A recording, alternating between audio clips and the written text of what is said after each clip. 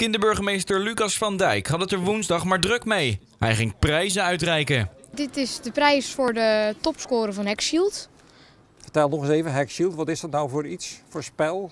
Uh, dat is een spel waarmee je jezelf kan beveiligen tegen online hackers. En uh, om ook anderen, bijvoorbeeld je opa en oma, bij te brengen hoe dat ze veilig kunnen omgaan op het internet. Gefeliciteerd! Je hebt de eerste prijs gewonnen met Hackshield. En de aanverbonden wedstrijd. Dankjewel. Hoeveel punten heb je gescoord?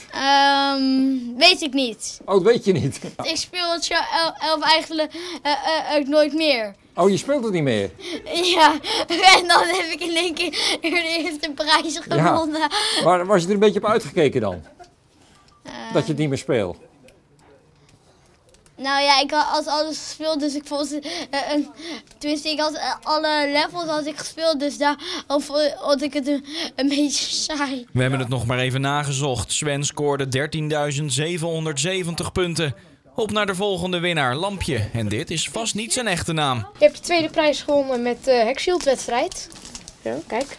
Deze zijn voor jou. Het computerspel Hackshield is bedacht voor kinderen tussen de 8 en de 12 jaar en leert ze om om te gaan met cybercriminaliteit. Dit is iets waar ook de politie het belang van inziet. Ze worden eigenlijk al heel jong al losgelaten middels een mobiele telefoon. En dan gaan ze dat, uh, dat web op met alle gevolgen van dien. Want wat zijn die gevaren dan als je dat web opgaat? Uh, verkeerde links, uh, dat vooral uh, wat je veel ziet, online pesten dat ze toch uh, ja, op sites komen wat niet de bedoeling is. Uh, ja, noem het maar op. En wij komen het tegen op internet, uh, helaas. of dat kinderen of jongeren bij ons komen melden van ja, het is, het is misgegaan, foto's doorgestuurd. ja, dat, dat zijn dingen die komen gewoon helaas heel veel tegen.